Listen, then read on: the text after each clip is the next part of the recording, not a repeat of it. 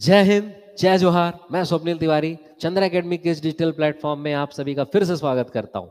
दोस्तों, चंद्र academy offline कक्षाओं के साथ साथ आप यहाँ की ऑनलाइन कक्षाएँ भी ज्वाइन कर सकते हैं। जी हाँ इन ऑनलाइन कक्षाओं को घर बैठे अपने मोबाइल पर आप रिकॉर्डेड या लाइव दोनों मोड में ज्वाइन कर सकते हैं। हमारे ऑनलाइन कोर्सेज के अंतर्गत C G P S C prelims जिसकी वैलिडिटी एक साल की है सी जी पी एस सी में जिसकी वैलिडिटी दो साल की है, और सी जी व्यापम की सभी परीक्षाओं के लिए एक सेपरेट कोर्स है, जिसकी वैलिडिटी एक साल की है। इसके साथ ही इस वैलिडिटी के अंतर्गत जितने भी ऑफलाइन कक्षाओं में नए वीडियो लेक्चर बनेंगे, वो भी आपके कोर्स में ऐड कर दिए जाएँगे। इसके अतिरिक्त यदि आप कोई पृथक विषय ज्वाइन करना चाहते हैं, जैसे मैथ्स रीजनिंग कंप्यूटर छत्तीसगढ़ या कोई भी विषय तो इसके कोर्सेज भी उपलब्ध है। इसके अलावा यदि आप लॉन्ग टर्म कोर्स की फ़ीस एक साथ नहीं पे कर सकते हैं तो चंद्रा एकेडमी का नौ सौ पंचानवे रुपए का मंथली सब्सक्रिप्शन भी उपलब्ध है। आप केवल मंथली फ़ीस देकर भी हमारे सारे कोर्सेज का लाभ उठा सकते हैं। तो ऑनलाइन कोर्स ज्वाइन करने के लिए जल्द से जल्द Chandra academy online classes application download कीजिए। जिसका लिंक नीचे डिस्क्रिप्शन में उपलब्ध है और अधिक जानकारी के लिए दिए गए नंबर में संपर्क करें। चलिए, छत्तीसगढ़ आर्थिक सर्वेक्षण की कक्षाओं को फिर से प्रारंभ करते हैं।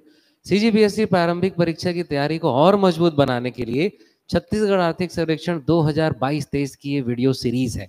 जिसमें हम एमसीक्यू तो देख ही रहे हैं, जिससे आप अपने डेटा को रिवाइज कर सकते हैं। जो नए अभ्यर्थी हैं, वो ये जान सकते हैं कि भाई किस प्रकार के प्रश्न पूछे जाते हैं। साथ ही हम इसके अंतर्गत हर डेटा की एक समरी भी देख रहे हैं, जो आपके लिए काफ़ी यूजफुल हो सकती है। इस सीरीज़ के अंतर्गत पहला वीडियो पब्लिश हो चुका है। यदि आपने नहीं देखा है तो ज़रूर देखिए। वहाँ हमने इकोनॉमिक सर्वे के कुछ बेसिक्स समझे हैं, जिसका लिंक नीचे डिस्क्रिप्शन में दिया हुआ है। तो छत्तीसगढ़ की राजकीय आय से संबंधित हम डेटा देख रहे थे, और छत्तीसगढ़ की राजकीय आय के अंतर्गत हमने छत्तीसगढ़ की आर्थिक वृद्धि दर का डेटा देखा था। अब इसके अलावा हम छत्तीसगढ़ की राजकीय आय के अंतर्गत उसके विभिन्न क्षेत्रों में आते हैं। जिसमें हम चलते हैं सबसे पहले प्राथमिक क्षेत्र या कृषि क्षेत्र के अंतर्गत, ठीक? तो कल हम एक प्रकार का डेटा समझ ही चुके थे। ये सारे प्रश्न हम पिछले वीडियो में देख चुके हैं। आपने नहीं देखा है तो बिल्कुल देखिए। और किसी भी प्रकार का कुछ डाउट रहता है वॉइस पिक्चर क्वालिटी कुछ भी है तो आप कमेंट करके मुझे फीडबैक ज़रूर दें, ठीक? हम प्रश्नों को देख रहे हैं, जिसमें हमने देखा था पिछली क्लास में कि कृषि क्षेत्र और प्राथमिक क्षेत्र छत्तीसगढ़ के संदर्भ में दोनों अलग अलग है। अगर कृषि क्षेत्र की बात हो रही है तो उसके अंतर्गत कौन से क्षेत्र सम्मिलित होंगे? फ़सल, पशुपालन, वानिकी और मछली उद्योग। लेकिन प्राथमिक क्षेत्र की बात होगी तो इन चारों में खनन एवं उत्खनन भी शामिल हो जाता है। ठीक? तो ये चीज़ को हम समझ चुके हैं। तो चलिए कृषि क्षेत्र और प्राथमिक क्षेत्र के बारे में एमसीक्यू और उसकी समरी दोनों देखना शुरू करते हैं। पिछले वीडियो में जो डेटा मैंने आपको बताया, उससे आपके एग्ज़ाम के दो तीन क्वेश्चन तय है। और आज के वीडियो में हम कृषि और प्राथमिक क्षेत्र, देखिए तीनों क्षेत्र में हमारा ये कृषि और जो प्राथमिक क्षेत्र है, यही सबसे ज़्यादा इंपॉर्टेंट है। इसमें डीप डेटा पूछता है। बाकी इसके अलावा जो द्वितीय उद्योग क्षेत्र या सेवा क्षेत्र है, सेवा क्षेत्र से तो ऊपर ऊपर के ही क्वेश्चन होते हैं और द्वितीय क्षेत्र में ज़्यादा चीज़ें हैं नहीं। तो इसीलिए इसे हमको डिटेल में देखना है। तो चलिए शुरू करते हैं। सबसे पहले पहला क्वेश्चन पहला क्वेश्चन हमारा क्या कह रहा है? छत्तीसगढ़ आर्थिक सर्वेक्षण की 2022-23 के अनुसार, सकल राज्य घरेलू उत्पाद में स्थिर मूल्य पर कृषि क्षेत्र से संबंधित सत्य कथनों का चयन करें। प्रश्न मैंने इसीलिए बनाया है ताकि आप ये समझ सके कि प्रश्न किस प्रकार के पूछे जाते हैं। ठीक? अब पहला कथन लिखा है, वर्ष 2022-23 के लिए कृषि क्षेत्र की वृद्धि दर पाँच दशमलव नौ तीन प्रतिशत अनुमानित है। जिन्हें आंसर पता है वो बिल्कुल कमेंट करते जाएँगे, अपना रिविजन करते जाएँगे। तो पहला कथन तो बिल्कुल सही है कि हाँ वर्ष 2022-23 के लिए जो कृषि क्षेत्र की वृद्धि दर है, वो कितना अनुमानित है? पाँच दशमलव नौ तीन प्रतिशत अनुमानित है। जो नोट्स बना रहे हैं, जैसा स्टेटमेंट लिखा हुआ है, उसी स्टेटमेंट का एक नोट्स बनाते जाएँगे। इन वीडियो सीरीज़ से आपके केवल चार से पाँच पेज के नोट्स बनने हैं और उन चार से पाँच पेज से आप एग्ज़ाम के दस क्वेश्चन ज़रूर बना लेंगे। यदि आर्थिक सर्वेक्षण से दस प्रश्न आएँगे तब अब तो गारंटी है कि दस के दस आपको यहीं से मिलेंगे। फिर लिखा है दूसरा, न्यूनतम वृद्धि दर 2017-18 में रही। तो जी हाँ न्यूनतम वृद्धि दर कृषि क्षेत्र की 2017-18 में रही है। तो दूसरा कथन बिल्कुल सही हो गया। तीसरा लिखा है अठारह उन्नीस में न्यूनतम वृद्धि दर। तो अठारह उन्नीस में तो न्यूनतम वृद्धि दर नहीं है। तो तीसरा वाला तो हमारा वैसे ही गलत हो गया। तो इसीलिए हमारा केवल पहला और दूसरा सही है, जो है ऑप्शन नंबर सी लेकिन एक बात का ध्यान देंगे, पिछले के पिछले सीजीपीएससी में, जी, पिछले के पिछले सीजीपीएससी में क्वेश्चन था, वर्ष दे दिया था, वर्ष एग्जैक्ट पिछले के पिछले पीएससी का मुझे याद नहीं है सपोज़ 2016-17 तो क्वेश्चन कुछ इस प्रकार का था कि 2016-17 में कृषि क्षेत्र की वृद्धि दर ऋणात्मक रही, जिसके प्रमुख कारण क्या थे? तो जी हाँ इसीलिए मैंने तीसरे कथन में कारण लिखा है। कि 2017-18 में वृद्धि दर ऋणात्मक रही। उसका मुख्य कारण है फ़सलों के उत्पादन में कमी। ध्यान रहेगा, कारण सही है। तीसरा जो कथन मैंने लिखा है, वो क्वेश्चन के अकॉर्डिंग गलत है, लेकिन 2017-18 में कमी का मुख्य कारण क्या है भाई? कमी का मुख्य कारण है फ़सलों के उत्पादन में कमी। तो ये प्रश्न आ चुका है, इसीलिए याद रखेंगे। तो एक प्रश्न आपके तीन तीन डेटा तैयार कर रहे हैं। पहला डेटा क्या है? कृषि क्षेत्र की वृद्धि दर कितनी है? Five point nine three percent कब ऋणात्मक रही? दो हज़ार सत्रह आठ में ऋणात्मक रही। कितनी रही? मैं आपको समरी बताऊँगा, वहाँ हम देख लेंगे। और कमी रहने का मुख्य कारण क्या है? फ़सलों के उत्पादन में कमी। इस प्रकार से हम एमसीक्यू देखेंगे, आपका पूरा इसमें एनालिसिस होगा और कंप्लीट तैयारी होते जाएगी। चलिए, अगले प्रश्न में आते हैं। अगला प्रश्न हमसे क्या कह रहा है? सोलवा प्रश्न हमसे ये कह रहा है कि छत्तीसगढ़ आर्थिक सर्वेक्षण के अनुसार 2022-23 के अनुसार राज्य सकल घरेलू उत्पाद में कृषि क्षेत्र के अंतर्गत किस वर्ष वृद्धि दर ऋणात्मक रही? अब आप जान चुके हैं 2017-18 आपको ऑप्शन देखने की ज़रूरत नहीं है। तो जहाँ जहाँ 2017-18 है, वही आपका सही आंसर है। अब इस प्रकार के प्रश्न में यदि आपको डेटा याद भी नहीं है तो आपकी किस्मत अच्छी है, बाकी कहीं भी सत्रह अठारह नहीं दिया है। तो इसीलिए सही हो सकता है। तो सत्रह अठारह में ऋणात्मक रही और ये ऋणात्मक याद रख लेंगे। कितनी रही? माइनस दस दशमलव नौ शून्य प्रतिशत। ठीक है? Minus ten point nine zero percent रही दो हज़ार सत्रह अठारह में। ठीक? चलिए, आगे चलते हैं। चलिए, क्वेश्चन नंबर सेवनटीन देखते हैं। क्वेश्चन नंबर सेवनटीन हमसे क्या कह रहा है? छत्तीसगढ़ राज्य आर्थिक सर्वेक्षण 2022-23 के अनुसार राज्य के सकल घरेलू उत्पाद में 16-17 से 22-23 तक कृषि वृद्धि दर किस वर्ष अधिकतम रहा और कितने प्रतिशत रहा? तो न्यूनतम तो हम देख लिए। कब रहा? 2017-18 में रहा। ठीक? माइनस दस दशमलव नौ शून्य प्रतिशत।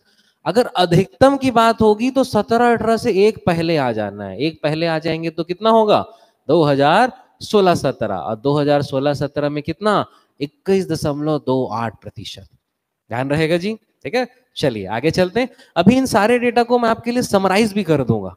तो आपके लिए बेनिफिट भी हो जाएगा। कुछ लोग इंतज़ार कर रहे होंगे, समरी पहले बता दीजिए, लेकिन नहीं। एक तो प्रश्न समझना ज़रूरी है, कैसे प्रश्न पूछे जा रहे हैं, और उसके अलावा आप क्वेश्चन देखेंगे समरी देखेंगे, चीज़ों को बार बार देखेंगे बार बार नोट डाउन करेंगे तो आपकी जो डेटा का कलेक्शन है मेमोरी में, वो कहीं ना कहीं स्ट्रांग होगा। चलिए, आगे चलते हैं।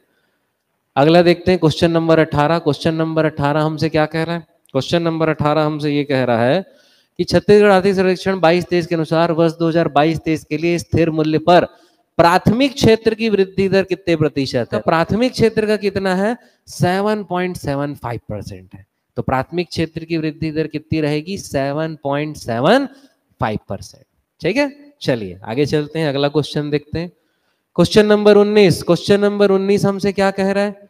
क्वेश्चन नंबर 19 हमसे ये कह रहा है कि छत्तीसगढ़ आर्थिक सर्वेक्षण 2022-23 के अनुसार प्राथमिक क्षेत्र में किस वर्ष वृद्धि दर ऋणात्मक रही? आपसे सिंपल क्वेश्चन वर्ष का भी पूछ सकता है। तो वर्ष तो आप पहले याद रखिए। सेकेंड प्रायोरिटी डेटा और ऋणात्मक वाले क्वेश्चन तो पूछे ही जाते सॉरी तो ऋणात्मक वाले क्वेश्चन तो आपको याद रखना ही है।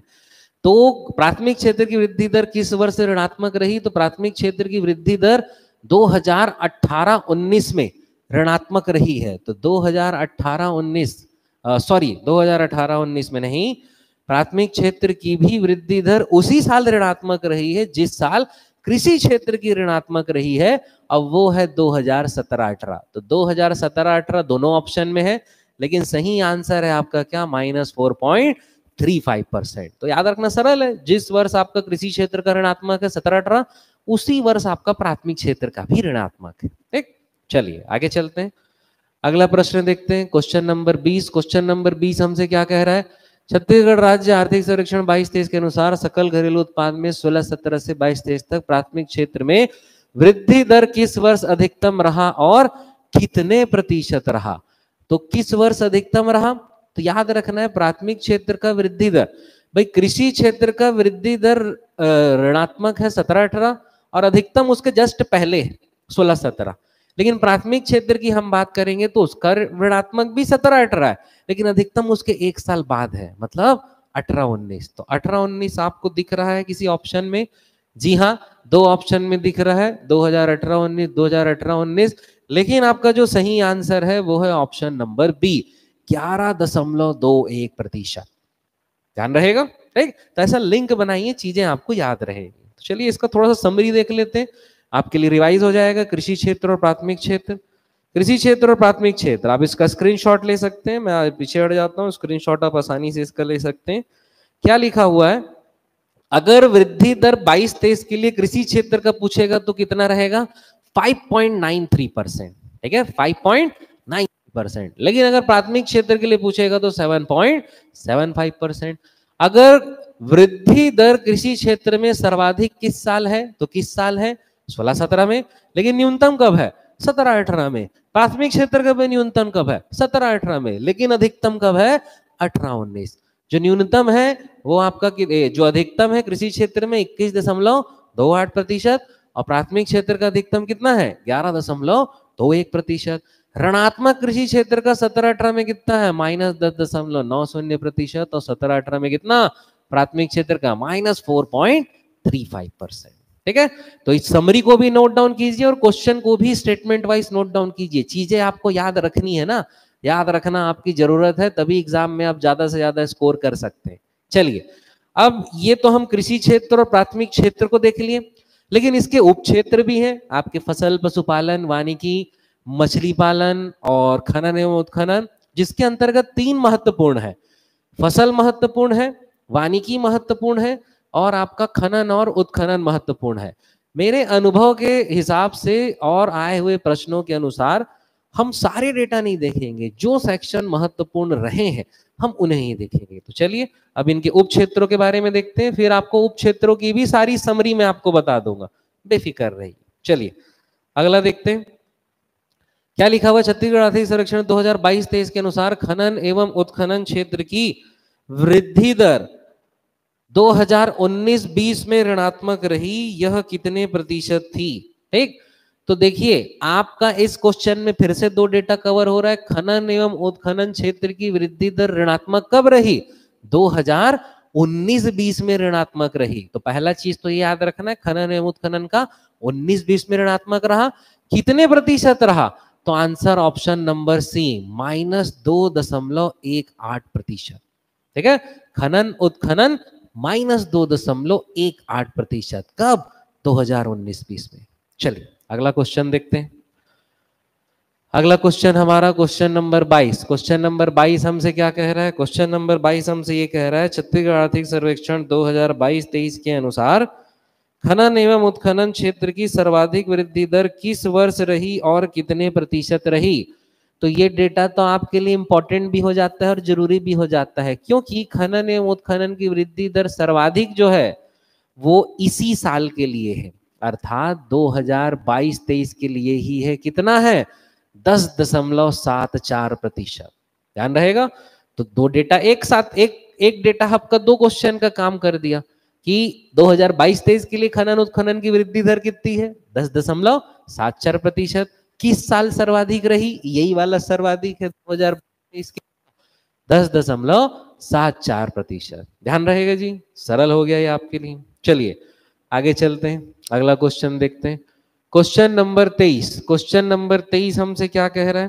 क्वेश्चन नंबर तेईस हमसे ये कह रहा है, छत्तीसगढ़ राज्य आर्थिक सर्वेक्षण के अनुसार 22-23 के लिए फ़सल क्षेत्र में वृद्धि दर कितने प्रतिशत अनुमानित है? ठीक है? तो फ़सल क्षेत्र की वृद्धि दर, आपको बिल्कुल रट लेना है, फ़सल क्षेत्र की वृद्धि दर है 6.53 परसेंट ऑप्शन नंबर बी फ़सल क्षेत्र के लिए इस साल की मतलब 2022-23 के लिए वृद्धि दर कितनी है? 6.53 परसेंट ठीक? चलिए नोट डाउन करते चलेंगे। जिन्हें पता है आंसर वो कमेंट बॉक्स पे बिल्कुल आंसर भी शेयर कर सकते हैं। चलिए, अगला देखते हैं question question number 24 question number 24 हमसे क्या कह रहा है? क्वेश्चन नंबर 24 हमसे ये कह रहा है कि छत्तीसगढ़ आर्थिक सर्वेक्षण 2022-23 के अनुसार फ़सल क्षेत्र में ऋणात्मक वृद्धि दर 2017-18 में रही, यह कितने प्रतिशत रही? तो दो डेटा आपका एक साथ इस क्वेश्चन में कवर हो रहा है कि फ़सल क्षेत्र की वृद्धि दर ऋणात्मक किस वर्ष रही? तो फ़सल क्षेत्र की ऋणात्मक वृद्धि दर कब रही? 2017-18 में रही। और कितने प्रतिशत रही? तो माइनस अठारह दशमलव सात तीन प्रतिशत। ऑप्शन नंबर एक, कितना? माइनस अठारह दशमलव सात तीन प्रतिशत। नोट डाउन करते चलेंगे, ठीक है?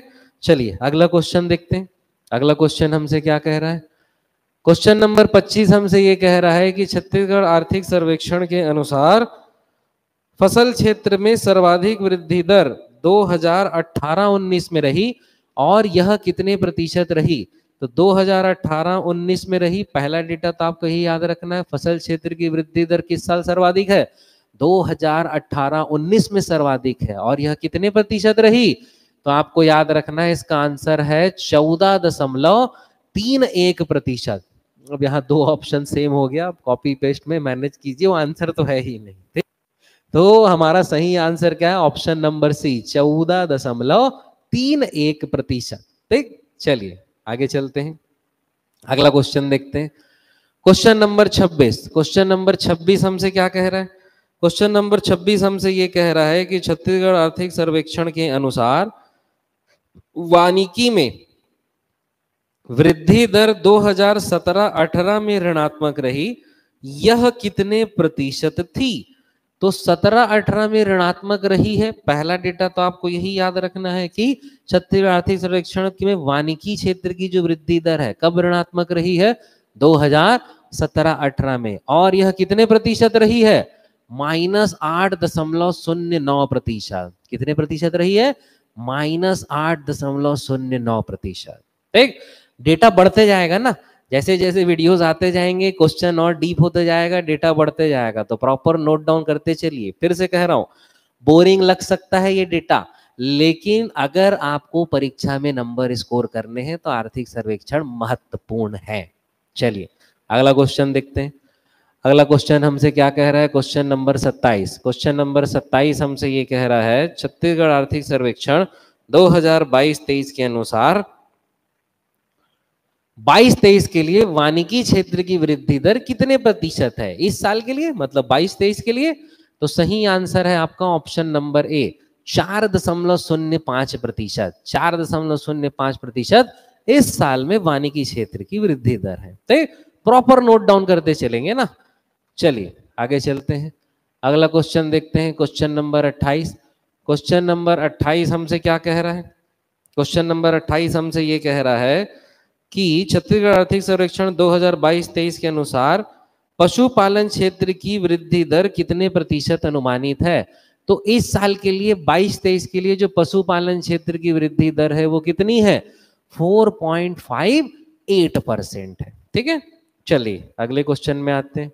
अगला क्वेश्चन हमसे क्या कह रहा है? क्वेश्चन नंबर 29 क्वेश्चन नंबर 29 हमसे ये कह रहा है छत्तीसगढ़ आर्थिक सर्वेक्षण 2022-23 के अनुसार वर्ष 22-23 के लिए मछली पालन क्षेत्र की वृद्धि दर कितने प्रतिशत अनुमानित है?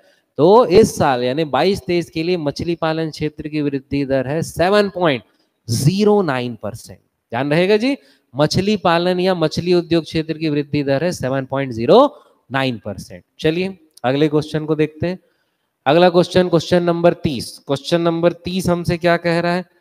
कि छत्तीसगढ़ आर्थिक सर्वेक्षण 2022-23 के अनुसार वानिकी क्षेत्र की वृद्धि दर सर्वाधिक 2018-19 में रही, यह कितने प्रतिशत थी? तो पहला डेटा तो यही याद रखना है कि वानिकी क्षेत्र की वृद्धि दर सर्वाधिक कब रही?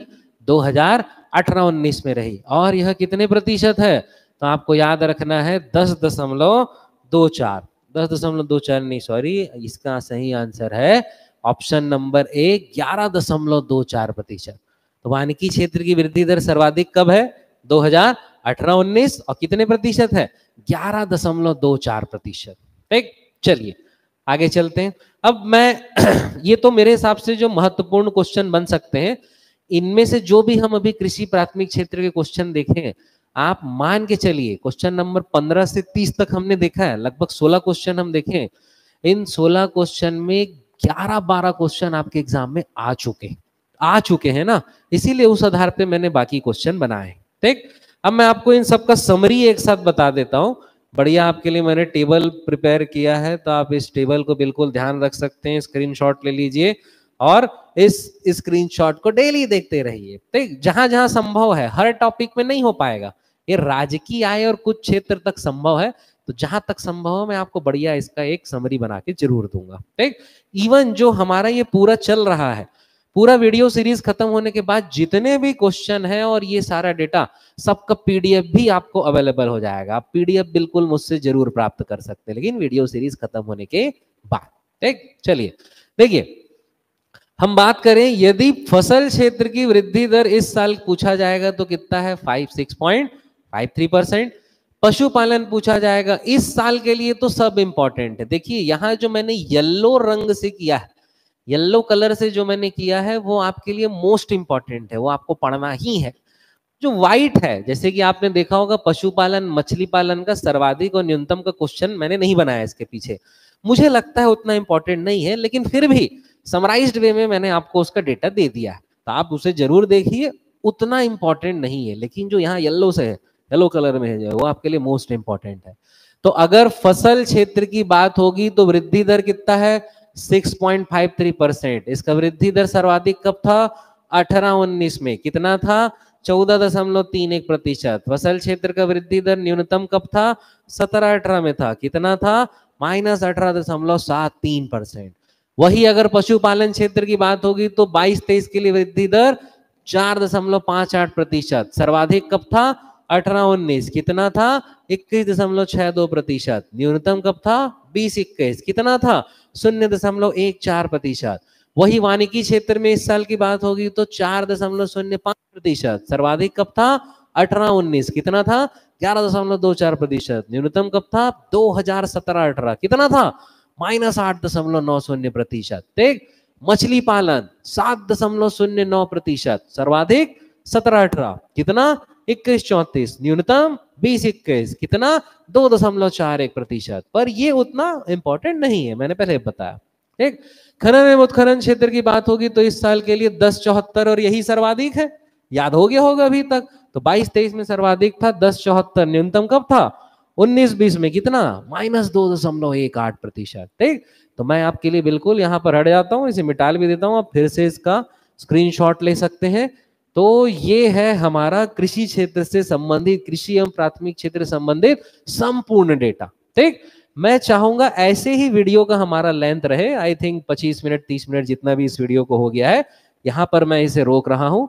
इसके बाद सीधा हम द्वितीय उद्योग क्षेत्र और सेवा क्षेत्र, दोनों को एक साथ देखेंगे और उसके अगले वीडियो में योगदान को देखेंगे। तो इस प्रकार जो राजकीय आय से हमारे सारे बनने वाले क्वेश्चन है टॉपिक्स हैं वो कवर हो जाएँगे। तो ऐसे छोटे छोटे वीडियोस देखेंगे जिसे आप आसानी से देख सकते हैं। किसी भी प्रकार के डेटा में कुछ डाउट हो अगर मेरे से कुछ गलती हो गई हो या आप, आपको कुछ कंफ्यूजन हो रहा हो आप सीधा मुझसे पूछ सकते हैं। मैंने आपको पहले भी अपना नंबर बताया है नीचे डिस्क्रिप्शन में भी आपको मेरा नंबर मिल जाएगा। आप सीधा मुझसे संपर्क करके कोई भी डाउट को क्लियर कर सकते हैं। तो वीडियो में बने रहिए। अगले वीडियो में मिलते हैं। द्वितीय उद्योग क्षेत्र और सेवा क्षेत्र की संपूर्ण जानकारी के साथ। देखिए ये राजकीय आय ही इंपॉर्टेंट है ना। इसके बाद के चैप्टर यानी पूरे एक एक चैप्टर में पाँच छह क्वेश्चन ही बनेंगे। यानी आप मान के चलिए, सौ क्वेश्चन में आपके साठ पैंसठ क्वेश्चन आपके केवल एक ही चैप्टर के हैं, बाकी बचे क्वेश्चन आपके नौ चैप्टर के ठीक है? तो इसीलिए यही इंपॉर्टेंट है, इसको ज़्यादा फोकस करना है। चलिए, आज के लिए इतना ही रखते हैं। जमकर तैयारी कीजिए। Thank you